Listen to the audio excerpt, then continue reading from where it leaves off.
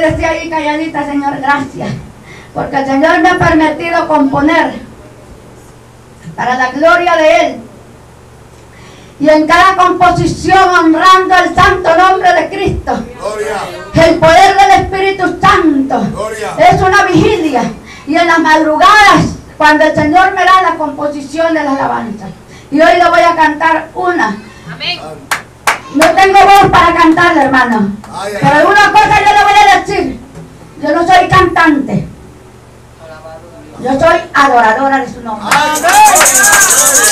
Los cantantes están allá, esperando que usted les tire porras.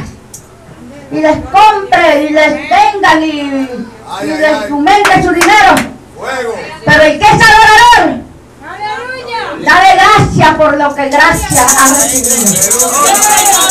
Y así yo voy a, a- a- a dar a, a mi Señor esta composición, la segunda composición que Él me dio Aleluya.